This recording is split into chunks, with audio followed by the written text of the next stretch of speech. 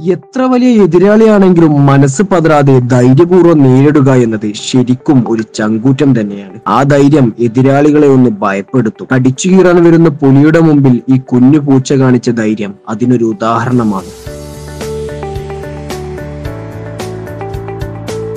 മഹാരാഷ്ട്രയിലെ നാസിക്കിലാണ് സംഭവം. ഓടിച്ചിട്ട് പിടിക്കാൻ ശ്രമിക്കുന്നതിനിടയിലാണ് പൂച്ചയും പുലിയും കിണറ്റിൽ വീണത്. ഇരുവരും മുഖാമുഖം നിന്നു. തുടർന്ന് പൂച്ചയുടെ ധൈര്യം പൂച്ചയെ രക്ഷിച്ചു. പുലിയുടെ മുന്നിൽ പൂച്ച കഴിവതും പിടിച്ചു നിന്നു. പൂച്ചയുടെ ധൈര്യം കണ്ട് പേടിച്ചിട്ടാണോ അതോ ദയ തോന്നിയിട്ടാണോ എന്നറിയില്ല. പുലി പൂച്ചയെ വെറുതെ വിട്ടു. പിന്നീട് വനപാലകർ വന്ന് പുലിയെ കാട്ടിലേക്ക് അയച്ചു.